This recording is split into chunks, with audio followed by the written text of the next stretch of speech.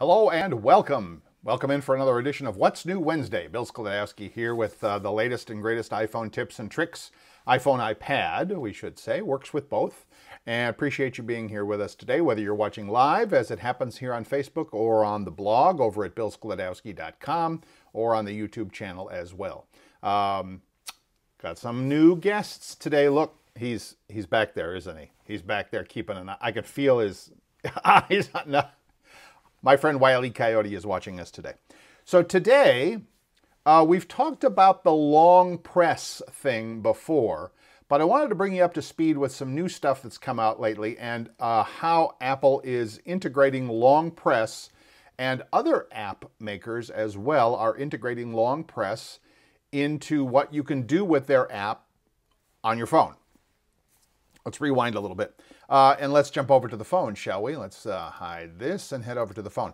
So as you remember, if you do remember from a previous video, that when you long press on an app, and you know, app, any of the little buttons or icons or whatever you choose to call them there on your phone, on any screen, uh, something's going to happen. It's going to pop up some menu of, of some sort. And in the past, we have talked about the ability to rearrange the screen uh, using long press. Let's just try anyone. If I long press on the messages button there, that every one of those is going to have the button that says edit home screen on it. So even the clock, if I lean on it, edit home screen. See that? Even if I go to my contacts, edit home screen down there. So they're all available with edit home screen. And what that means is you tap on that and they start to jiggle and all that, jog your memory a little bit.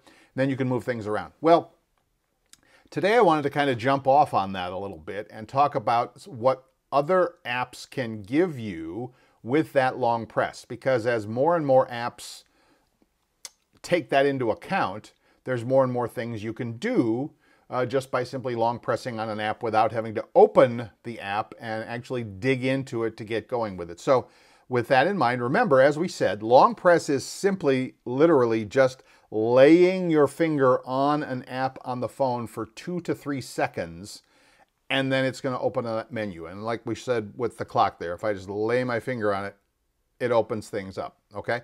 So it has also what's called that little haptic feedback, which means it just makes a little kind of a tick. It, you can feel it on your finger. It, it makes a little, uh, um, I don't know, there's something in the phone that makes it jiggle just a tiny bit. Anyway, that's long press.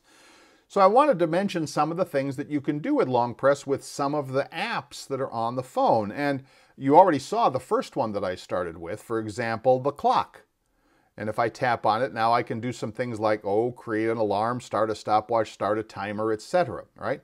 So the thing about this is, is that the app is going to show you things that it can do specifically, right?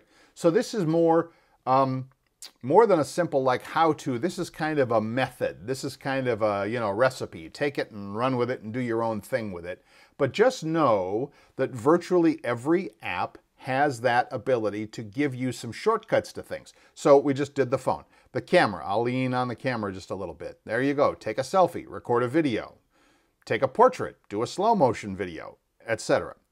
Um, messages, we already tried that one. I can, you know, send a new message to my girlfriend or the computer guy who happens to be me, right? Uh, settings, there's also, you can do some things like turn on and off Bluetooth or Wi-Fi or cell data or check the battery.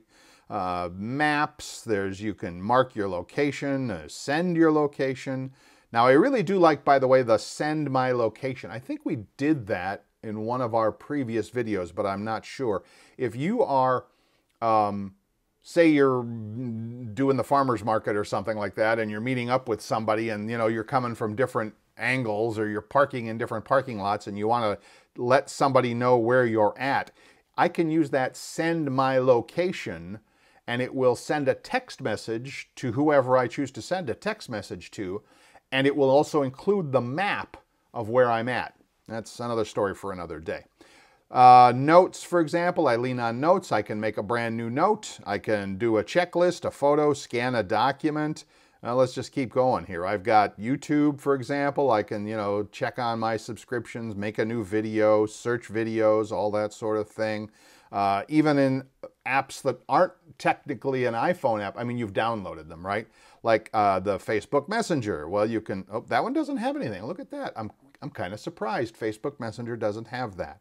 All right, other things in here. Oh, I've got so much stuff, you know. Uh, so what I want you to learn, and what, oh, by the way, down at the bottom with the phone, phone, you want to call somebody, there's all the phone calls you can make. Check your voicemails, check your contacts, search for people, etc. All right, I've got a calendar app where I can schedule things, etc. Now, that's not the standard iPhone calendar app that I have down there, but another story for another day. The point of all of this today is this. Just try it. You know, with all the apps that you've got on your phone, as you download things, as you move stuff around to make your phone work better for you by putting the most used things that you have right there on the home screen, just try the finger thing. the finger thing. This finger, come on where you lay your finger on an app and see what happens, and maybe it just gives you something useful and you go, oh, I didn't know I could do that.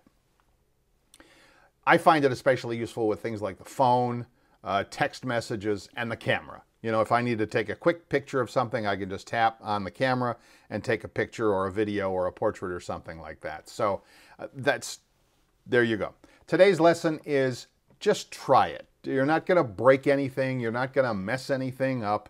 In fact, I always, when I teach my classes, I tell folks that. I, uh, uh, my first class, my first 10 minutes of the day is letting people know that unless you really just drop it in the pool or take a hammer to it or, you know, run over it in the parking lot, um, you can't break it. So try stuff. Just try tapping on things and see what happens. That's the lesson for today. All right, if you have found this helpful, I would uh, invite you to stop over to the blog and let me uh, jump over to that one there. Just jump over to the blog. It's going to look just like this, billsklodowski.com. And you can sign yourself up for our newsletter. Just click on that button that says click me right there next to the picture.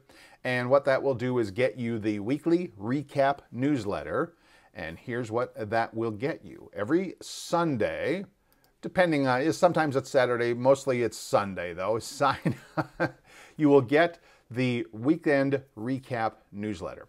It will let you know what videos were on the previous Wednesday and the previous Friday, and when we have a free handout, which we have every week for the iPhone Friday class, you'll get a free copy of that as well. It's all free. All it takes is an email. Just jump over to the uh, blog post name down there. I got to figure out which way to point. The blog at billsklodowski.com and sign yourself up, all for free.